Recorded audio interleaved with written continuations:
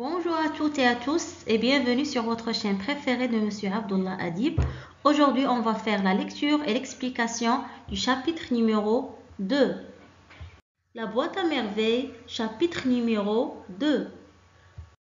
Le mardi, jour néfaste pour les élèves du cycle, me laisse dans la bouche un goût d'amertume. Tous les mardis sont pour moi couleur de cendre. Il faisait froid, ma nuit avait été peuplée de cauchemars. Des femmes échevelées menaçaient de me crever les yeux, m'envoyaient au visage les pires injures. Parfois, l'une d'elles me balançait à travers la fenêtre et je m'enfonçais lourdement dans le vide. Je criais, une main combien douce se posa sur mon front. Le matin, je me rendis en site selon mon habitude. Le frère avait son regard de tous les mardis. Ses yeux n'étaient perméables à aucune pitié. Je décrochai ma planchette et me mis à annoncer les deux ou trois versets qui, y étaient écrits. À six ans, j'avais déjà conscience de l'hostilité du monde et de ma fragilité. Je connaissais la peur, je connaissais la souffrance de la chair au contact de la baguette de cognacier. Mon petit corps tremblait dans ses vêtements trop minces. J'appréhendais le soir consacré aux révisions. Je devais, selon la coutume, réciter les quelques chapitres du Coran que j'avais appris depuis mon entrée à l'école. À l'heure du déjeuner, le maître me fit signe de partir. J'accrochai ma planchette, j'enfilai mes babouches qui m'attendaient à la porte du mside et je traversai la rue. Ma mère me reçut assez froidement et souffrait d'une terrible migraine. Pour enrayer le mal, elle avait les tempes garnies de rondelles de papier copieusement enduites de colle de farine. Le déjeuner fut improvisé et la bouilloire sur son brasero entama timidement sa chanson. Lella une ancienne voisine, vint nous rendre visite. Ma mère l'a reçue en se plaignant de ses maux tant physiques que moraux. Elle affectait une voix faible de convalescente, s'étendait sur les souffrances de telle partie de son corps, serrait violemment des deux mains sa tête empaquetée dans un foulard. Aïcha lui prodigua toutes sortes de conseils, lui indiqua un frère dans un quartier éloigné dont les talismans faisaient miracle. Je me tenais timide et silencieux dans mon coin. La visiteuse remarqua la pâleur de mon visage. Qu'a-t-il ton fils demanda-t-elle. Et ma mère de répondre. Les yeux du monde sont si mauvais. Le regard des envieux a atteint l'éclat de ce visage qui évoquait un bouquet de roses. Tu souviens-tu de ces joues qui suyaient le carmin? Et de ces yeux aux longs cils noirs comme les ailes du corbeau Dieu est mon mandataire, sa vengeance sera terrible. Je peux te donner un conseil, dit Aïcha. Montons tous les trois cet après-midi à Sidi. Cet enfant ne pourra pas supporter msid.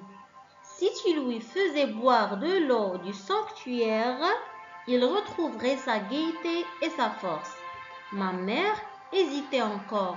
Pour la convaincre, la Laïcha parla longuement de ses douleurs de jointure, de ses jambes qui ne lui obéissaient plus, de ses mains lourdes comme du plomb, des difficultés qu'elle éprouvait à se retourner dans son lit et des nuits blanches qu'elle avait passées à gémir comme Job sur son grabat. Grâce à Sidi Ali patron des médecins et des barbiers, ces douleurs ont disparu.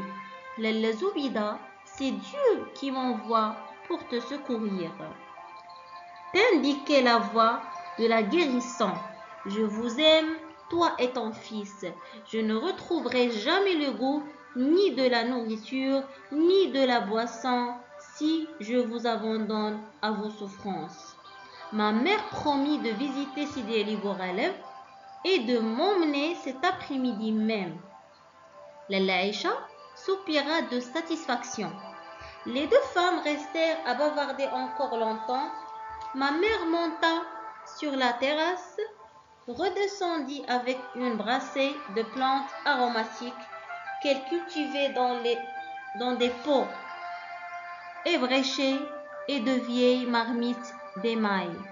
Elle parfuma santé de verveine et de sauge, proposa à proposa à une petite branche d'absinthe à mettre dans son verre.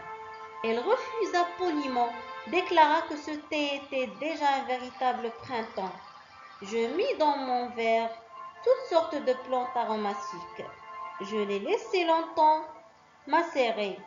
Mon thé devint amer, mais je savais que cette boisson soulageait mes fréquentes coliques.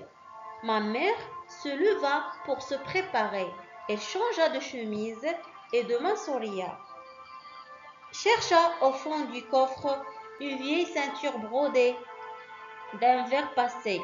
Trouva un morceau de cotonnade blanche qui lui servait de voile. Se drépa dignement dans son haïk fraîchement lavé. C'était en vérité un grand jour. J'eus droit à ma djellaba blanche et je dus quitter celle de tous les jours, une djellaba grise d'un gris indéfinissable, constellée de taches d'encre et de ronds de graisse. La Laïcha éprouva toutes sortes de difficultés et s'arrachait du matelas où elle gissait.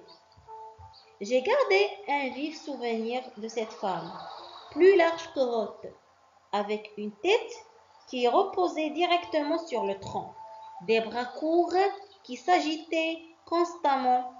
Son visage lisse et rond m'inspirait un certain dégoût. Je n'aimais pas qu'elle m'embrassât. Quand elle venait chez nous, ma mère m'obligeait à lui baiser la main parce qu'elle était shérifa, fille du prophète, parce qu'elle avait connu la fortune et qu'elle était restée digne malgré les revers du sort. Une relation comme la Laïcha flattait l'orgueil de ma mère.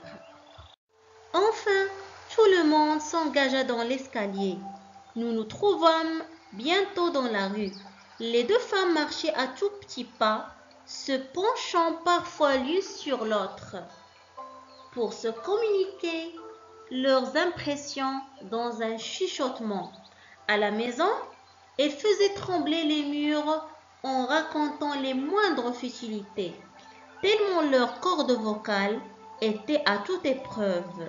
Elles devenaient dans la rue, affondes et gentiment minaudières. Parfois, je les devançais, mais elles me rattrapaient tous les trois, pas pour me prodiguer des conseils de prudence et des recommandations. Je ne, devais pas me frotter au mur. Les murs étaient ni si sales et j'avais ma superbe djellaba blanche. Je devais me moucher souvent avec le beau mouchoir brodé pendu à mon cou. Je devais de même m'écarter des ânes, ne jamais être derrière eux car ils pouvaient rouiller et jamais devant car ils prenaient un malin plaisir à mordre les petits enfants. Donne-moi la main, me disait ma mère. Et cinq pas après, va devant, tu as la main toute moite. Je reprenais ma liberté, mais pour un temps très court. La Laïcha se proposait de me guider dans la cohue. Elle marchait lentement et tenait beaucoup de volume. Un embouteillage ne tardait pas à se former. Les passants nous laissaient toutes sortes de remarques déplaisantes, mais finissaient par se porter à notre secours. Des bras inconnus me soulevaient du sol, me faisaient passer par-dessus les têtes et je me trouvais finalement dans un espace libre. J'attendais un bon moment avant de voir surgir de la foule les deux haïks immaculés. La scène se renouvela plusieurs fois. Durant ce voyage, nous traversâmes des rues sans nom ni visage particulier. J'étais attentif aux conseils de mes deux guides, je m'appliquais à me garer des ânes, butais inévitablement dans les genoux des passants. Chaque fois que j'évitais un obstacle, il s'en présentait un autre. Nous arrivâmes enfin au cimetière qui s'étend aux abords de Sidi Ali Bouraleb. Jusqu'ici intimide pas d'allégresse, les tombes couvertes de soucis rougeoyaient au soleil. Ça et là, des marchands trônaient derrière leurs pyramides d'orange. On entendait les coups de tambourin d'un chanteur populaire et la clochette du marchand d'eau. Sur la petite place, des campagnards vendaient du bois pour la lessive, des brassereaux de terre cuite des plats pour cuire les, galettes, les éventaires des marchands de sucreries attiraient mon regard. On y voyait exposer des coques et des poussins en sucre jaune ornementés de filets roses, des théières transparentes, de minuscules babouches et des soufflets. Ces objets magnifiques me rappelait ma boîte à merveilles. Mon père m'en avait bien offert quelquefois, mais avant d'arriver à la maison, s'émiettait ou devenait simplement gris et poussiéreux. Indignes de figurer parmi mes trésors, ils étaient beaux là au soleil, dans, dans le bourdonnement de la foule. Le toit de tuiles vertes qui couvre le mausolée se dressait dans un tendre azur ou batifolé de nuages blancs et roses aux formes capricieuses. Sur les marches de l'entrée principale, des femmes assises à même le sol devisaient entre elles, mâchaient sous leur voile de la gomme parfumée, interpellaient leurs enfants qui jouaient dans la poussière et se serrent pour nous laisser un étroit passage. Nous nous trouvâmes bientôt dans une cour qui me parut immense. Au centre trônaient quatre vaisseaux en terre cuite remplis d'eau. Ma mère trouva un gobelet et me fit boire. Elle se versa un peu de liquide dans le creux de la main, me passa les doigts sur le visage, les yeux, les jointures des mains et sur les chevilles. Tout en possédant à ce rituel, elle marmonnait de vagues prières, des invocations, me recommandait de rester tranquille. Rappelez telle ou telle péripétie de notre promenade, je subissais tout cela avec ma patience coutumière. Je me tortillais le cou pour regarder une armée de chats qui se livrait à une folle sarabande à l'intérieur de ce temple étrange. Au-delà de cette cour s'ouvrait la zaouia, de chaque côté d'une pièce carrée où se dressait le catafalque du saint. Deux portes conduisaient aux chambres des pèlerins, des gens venus de loin pour se débarrasser de leurs maux, vivaient là avec leurs enfants, attendant le guérison. En arrivant devant le catafalque, la Laïcha mère se mirent à appeler à grands cris le saint à leur secours, l'une ignorant les paroles de l'autre. Chacune lui exposait ses petites misères, frappait du plat de la main le bois du catafalque, gémissait, suppliait, vitupérait contre ses ennemis. Les voix montaient, les mains frappaient le bois du catafalque avec plus d'énergie et de passion. Un délire sacré s'était emparé les deux femmes. Elles énuméraient leurs mots, exposaient leurs faiblesses, demandaient protection, réclamaient vengeance, avouaient impureté, proclamaient la miséricorde de Dieu et la puissance de Sidi El On appelait à sa pitié, épuisées par leur ferveur, elles s'arrêtèrent enfin. La gardienne du mausolée vint les complimenter sur leur piété et joindre ses prières aux leurs. Vos vœux seront exaucés et vos désirs comblés, dit-elle pour conclure. Dieu est généreux, il soulage les souffrances et pense toutes les blessures. Sa bonté s'étend à toutes les créatures. N'est-ce pas un signe de sa bonté de nous avoir envoyé des prophètes pour détourner de la voie du mal et nous indiquer le chemin du paradis? C'est un effet de sa générosité, nous avoir révélé par l'intermédiaire de notre Seigneur, Mohammed. Le salut et la paix soient sur lui. Sa parole très vénérée, qui nous enseigne les vertus capitales la charité, l'amour des parents, le bienfait envers toutes les créatures. Ceux qui ont pratiqué ces vertus, dans toutes leurs intégrités, deviennent les amis de Dieu et intercèdent en notre faveur. Sidi Ali Bouraleb figure parmi les plus dignes. Il aimait tous les êtres et affectionnait en particulier les chats. Nous, en avons actuellement plus de 50. On nous les amène malades, galeux et efflanqués. Peu de temps suffit pour qu'ils retrouvent la santé et la joie.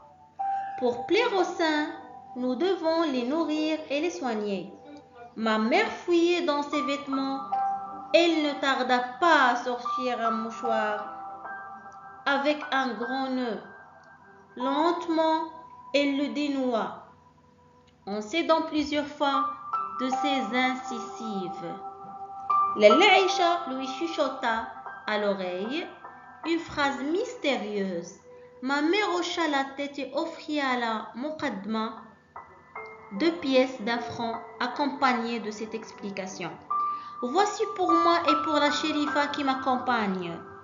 La gardienne ouvrit ses deux mains reçut le don et entama une longue oraison.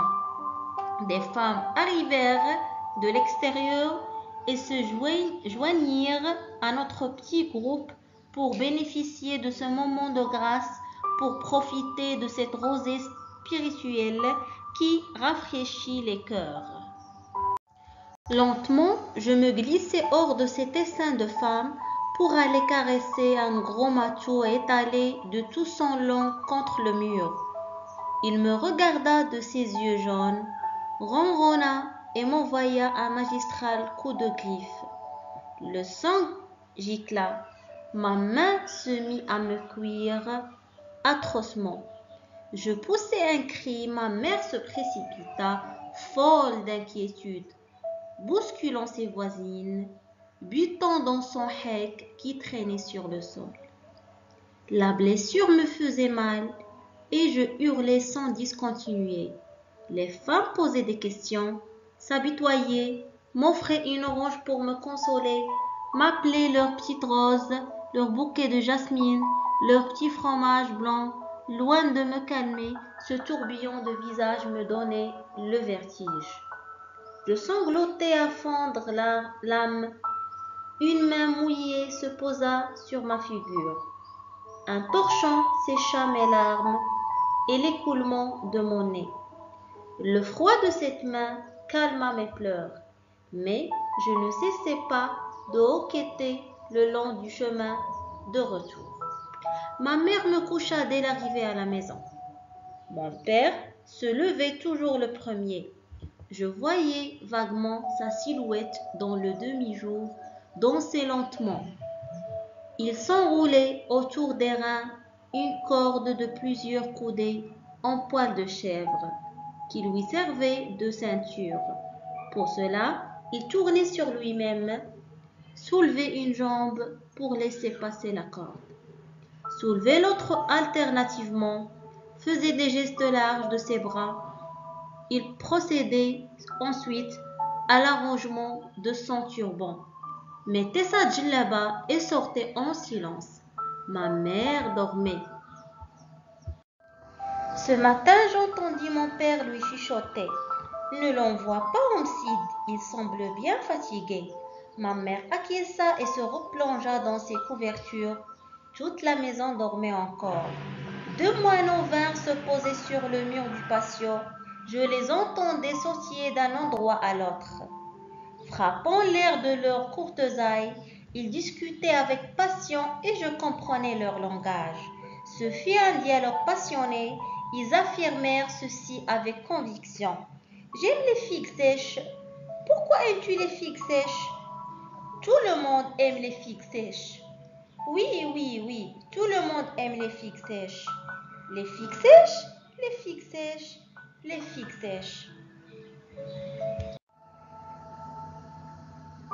Les ailes frottèrent, les deux moineaux partirent continuer leur conversation sur d'autres toits.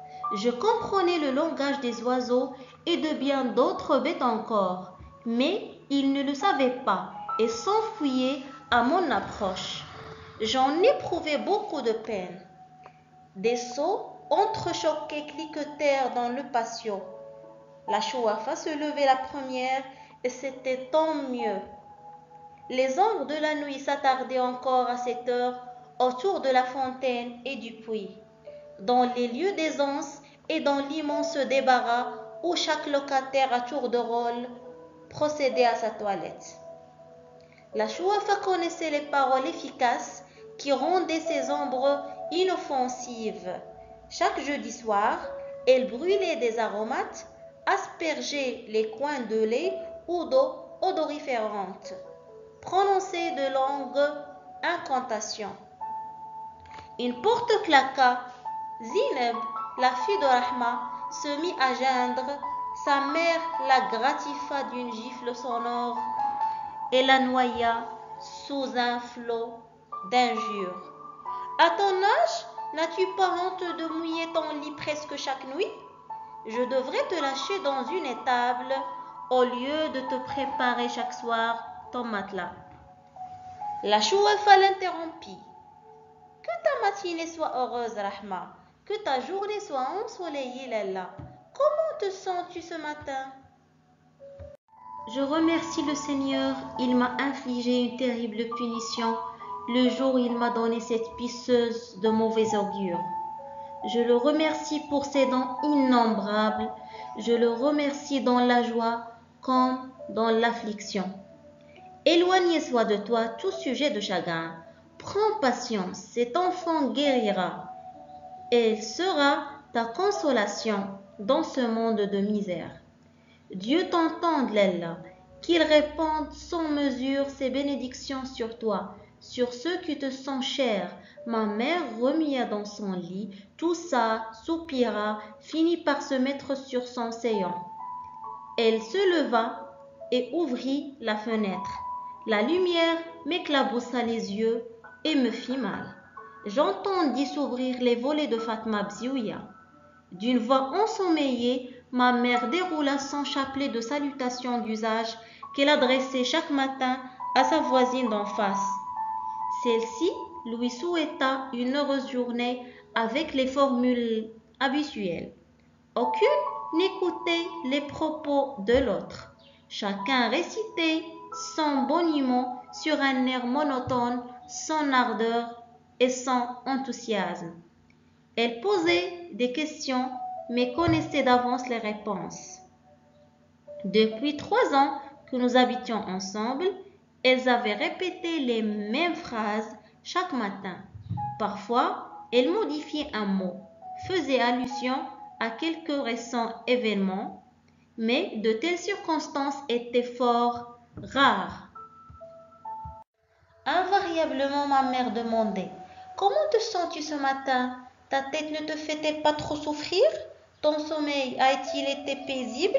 Elle concluait La santé est chose capitale, ma sœur. Rien ne peut la remplacer.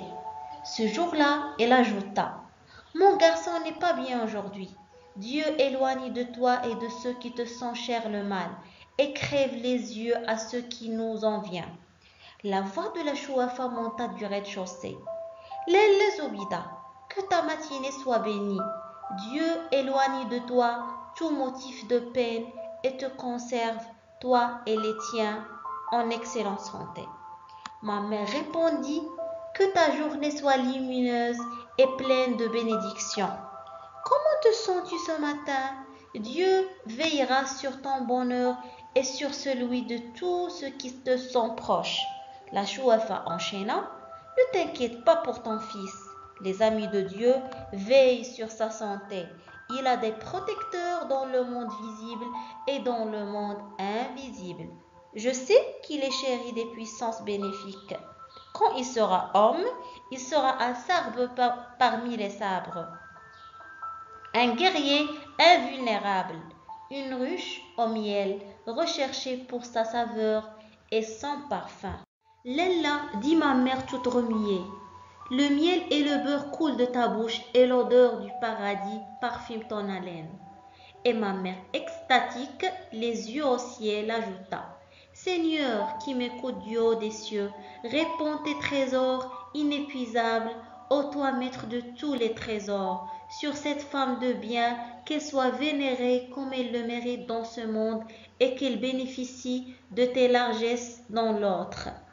Que sa vie soit couronnée par l'accomplissement du pèlerinage aux lieux qui nous sont chers.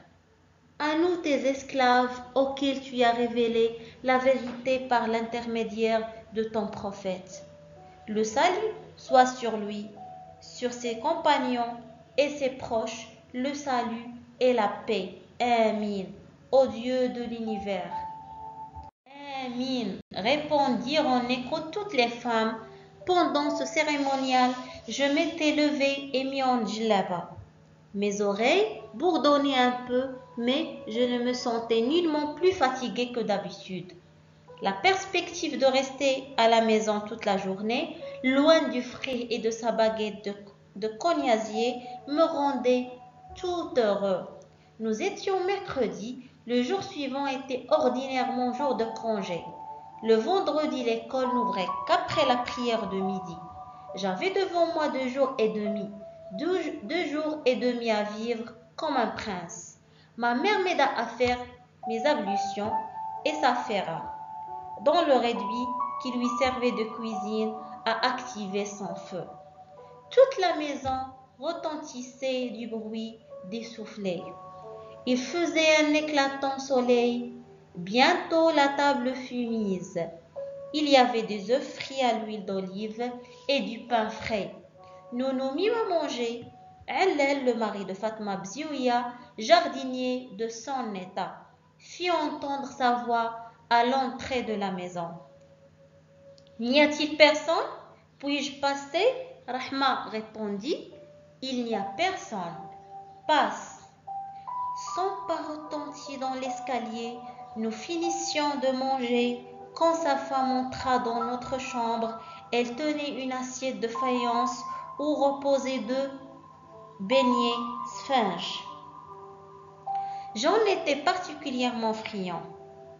Ma mère se leva pour recevoir la visiteuse. Le visage ennuyé, la bouche pincée, elle débita les formules qu'exige la politesse en de telles occasions. Fatma, pourquoi t'es-tu dérangée? Je ne peux pas accepter nous avons loué à Dieu amplement de quoi nous rassasier. Deux beignets, c'est beaucoup trop. Par Dieu, je ne puis accepter. Notre voisine essayait de vaincre cette résistance. Elle prenait la main de ma mère et protestait avec chaleur. Tu ne peux pas me faire un tel affront. Donne à Sidi Mohammed qu'Allah lui donne la santé. Tu ne peux pas refuser, c'est si peu de choses. Enfin, ma mère remercia. Dieu te comblera de ses bienfaits et te fera goûter des nourritures du paradis qu'il réserve à ses élus. Dieu ouvrira pour nous toutes les portes de ses trésors. Fatma alla rejoindre son mari et ma mère poussa de mon côté l'assiette avec les deux beignets. Mange-les, toi qui les aimes, me dit-elle. Mon estomac ne supporte pas les beignets. Je me régalais. Un apprenti de mon père, que tout le monde appelait Driss le Teigneux, frappa à la porte d'entrée. Il demanda un couffin pour faire notre marché. Ma mère lui recommanda à haute voix de choisir une viande sans trop d'os et des fèves vertes bien tendres. La situation de mon père était assez prospère. Nous pouvions nous permettre de manger de la viande trois à quatre fois par semaine. Papa, d'origine montagnarde comme ma mère, après avoir quitté son village, situé à une cinquantaine de kilomètres de la grande ville, avait au début éprouvé des difficultés à gagner sa vie et celle de sa jeune épouse. Dans son pays, on était pillards et paysans. À Fès, il fallait pour vivre exercer quelques industries citadines ou montrer un petit commerce. Dans notre famille, vendre et acheter a toujours été considéré comme le métier le plus vil. Mon père se souvint avoir été à un moment de sa jeunesse dans l'atelier de l'un de ses oncles maternels, tisserand de couverture. Il s'acheta donc un minimum de matériel, loua un coin dans un atelier et s'installa tissant. Il faisait honnêtement son travail, améliorait de jour en jour sa production. Bientôt, ses articles furent très disputés et le ménage jouit d'un certain confort. Mon père avait un vieil ouvrier avec lui sur le métier. Driss le teigneux garnissait les canettes et faisait les commissions. Driss venait deux fois par jour à la maison. Le matin, achetait les provisions et au milieu du jour, cherchait le déjeuner de son patron. Mon père mangeait à l'atelier. Il venait seulement le soir après la dernière prière. Le vendredi faisait exception. Ce jour-là, mon père était à son métier jusqu'à midi environ.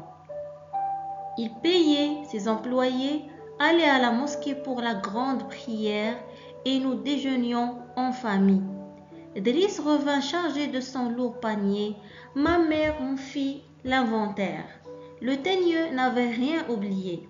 La viande avait bon aspect et le verre d'écosse de fèves faisait saliver abondamment.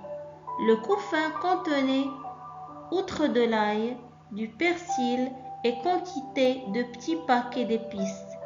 Nous avions de l'huile, du charbon et de la farine pour tout le mois. Quand ma mère parlait de l'œil des envieux, elle pensait sûrement à ses richesses. Les voisines moins fortunées nous jalousaient un peu. Elle n'ignore d'ailleurs aucun détail de notre vie domestique. Ma mère, de son côté, connaissait les difficultés de tout le monde, l'état des finances de chaque ménage, les dettes qu'il contractait, ses dépenses de chaque jour et la qualité de son ordinaire. Les faits furent versés dans un large panier en sparterie en forme de plat. Tu m'aideras les écosser, me dit maman. J'acquiesçai et me mis aussitôt à l'ouvrage. Je fus vite dégoûté de ce travail. J'allais risquer un œil dans chambre de Bziouia. Elle roulait du couscous dans un coin, s'amoncelait divers légumes, navets, carottes, courges rouges et oignons. Notre voisine m'aimait beaucoup. Elle laissa un moment son couscous pour fouiller dans un panier. Elle me tendit avec un large sourire un ratidin rouge de rubis, lent d'un empant. Je lui fis un sourire pour la remercier et plantai mes dents dans la chair rose de cette friandise. Le goût en était si fort que les larmes me sortirent des yeux. Je ne dis rien, je partis à reculons, grimpai les marches qui conduisaient sur la terrasse et jetai par-dessus le mur qui nous, séparait d'une autre maison. Le beau radis. Le soleil était clair et chaud. Un chat blanc et noir reposait sur le mur et suivait mes mouvements de ses yeux à demi fermés. Je ne m'en approchais point. Le coup de griffe du matou, pensionnaire de Sidi Ali m'avait appris à me méfier des chats qui ronronnent au soleil. Ma mère s'inquiétait déjà de mon absence. Elle m'appelait à la cantonade. Je m'engageai dans l'escalier pour redescendre. Quelqu'un montait pieds nus, les pas mous et le froufrou des vêtements se rapprochaient. Apparut Rahma. Ma mère ne lui parlait plus depuis leur dispute. Les deux femmes évitaient de se rencontrer. Moi, je ne savais pas s'il fallait lui sourire ou me sauver. Je me plaquai contre le mur et attendis que les événements décidassent pour moi. En arrivant à ma hauteur, Rahma s'arrêta, me caressa la joue et me glissa un objet dans la main, un objet lisse et froid. Mais, dans le toucher, me plongea dans un bain de délices. C'est pour toi, me murmura notre voisine. Je ne répondis rien et courus rejoindre ma mère qui s'impatientait. L'objet était toujours dans le creux de ma main et dégageait une fraîcheur d'eau de source. Installé dans un coin de la pièce, j'osais enfin le regarder. C'était un gros cabochon de verre à facettes taillées en diamant, un bijou fabuleux et barbare, provenant à n'en pas douter de quelque palais souterrain où demeurent les puissances de l'invisible. Était-ce un message de ces lointains royaumes? Était-ce un talisman? Était-ce une pierre maudite qui m'était remise par notre ennemi pour attirer sur la colère des démons? Que m'importait la colère de tous les démons de la terre? Je tenais dans mes mains un objet d'une richesse insoupçonnable. Il prendra place dans ma boîte à merveilles et je saurai découvrir toutes ses vertus. Ma mère me trouva dans, mon coin. Elle me jeta un regard négligent et dit Encore un bout de verre, fais attention de ne pas te blesser. Laissez-moi vous présenter ici les idées principaux du chapitre numéro 2. On va commencer par euh, la première idée qui est le jour néfaste pour Sidi Mohammed. La deuxième idée, c'est la visite de l'Aïcha.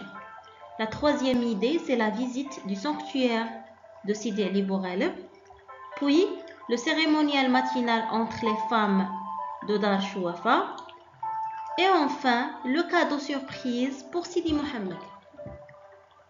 On commence par le jour néfaste pour Sidi Mohammed. Alors, le jour qui était néfaste et noir pour Sidi Mohammed, c'était le mardi car dans ce jour-là, le narrateur Sidi Mohammed et ses camarades de l'école coranique ont été obligés de réciter des chapitres du Coran qui ont déjà appris dès le début d'année. Alors pour Sidi Mohammed, les jours qui précèdent ce mardi sont des vrais cauchemars. Alors il imagine toujours les regards du frère, le maître de l'école coranique, et sa baguette du cognacier. On passe maintenant à la deuxième idée, la visite de Lalla Aisha. Alors Lalla Aisha qui était une ancienne voisine de la famille du narrateur. Alors un jour, elle a rendu visite à Lalla Zobida, la maman de Sidi Mohammed. Là, elle découvre que Lalla Zobida souffre d'une terrible migraine et des maux de tête. Elle a constaté aussi que son fils Sidi Mohamed est pâle et malade. Alors là, elle propose à Lala Zoubida de se rendre au sanctuaire de Sidi Ali Bourel. Alors, euh, ses conseils, c'était pour conjurer le mauvais œil qui a frappé son fils et lui aussi, en lui faisant boire l'eau miraculeuse de ce lieu saint. On passe à la troisième idée, la visite du sanctuaire Sidi Ali Bourel. Alors, Lele Zobida, la maman du narrateur, et son ancienne voisine Aisha ont visité le sanctuaire de Sidi Ali Bourel. Alors là, le narrateur Sidi Mohammed a fait une grande description de ce lieu ainsi aux femmes qui ont été présentes. Enfin de cette visite, un chat a griffé le narrateur et a lui fait mal. On arrive maintenant à la quatrième idée, le cérémonial matinal entre les femmes de Dashwafa. Alors, euh, le cérémonial matinal entre euh, les voisines de Dashwafa alors était sous forme de salutations et des souhaits d'usage, des doigts, entre ses voisines.